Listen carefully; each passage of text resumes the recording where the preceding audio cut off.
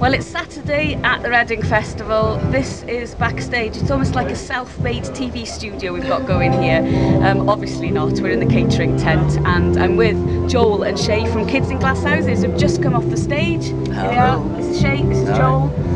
Um, they had an amazing set. It was like everyone was singing their hearts out, and basically you've got great catchy numbers. Anyway, how was it? Did you enjoy yourself? Yeah. really, really Uh, like our, our expectations were high kind of thing because last year, like we played the smaller tent and it was really, really good fun. So we were like always looking forward to it a lot. Didn't expect that many people to come, but it was really, Yeah. really pretty mind blowing. Um, Reading Leeds festivals. Have you been before? Yeah, we came last year, and I think Yeah, I went, I went um, on my own to just watch the bands like four years ago maybe. Yeah. Who was on? Um, that was either Metallica headlined on the Sunday. I'm trying to think who else was on. Just a few, but like thrice. And the Concrete Jungle stage was like really good that year, and I remember it was really good. Yeah. And it was really hot. Have you ever had any festival nightmares?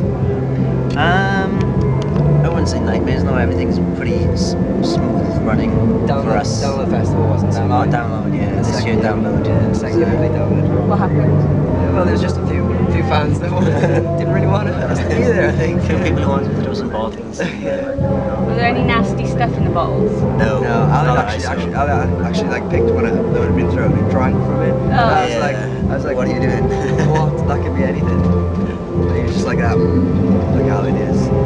down last night. Did, who did you watch?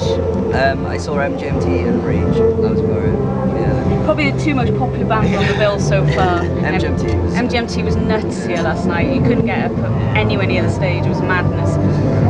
Um, anybody you're going to watch before you head up to Leeds? Um, well, hopefully we want, we want to stay till the end today and then go. We want to catch Gallows out. Gallows. Uh, well, like three headliners. yeah, pretty much. Yeah, Killers, Gallows, and Manics. Manics, yeah. Brilliant. Shay, Kids in Glass Houses, thank you very much. And I really enjoyed your set this Thank morning. Cheers.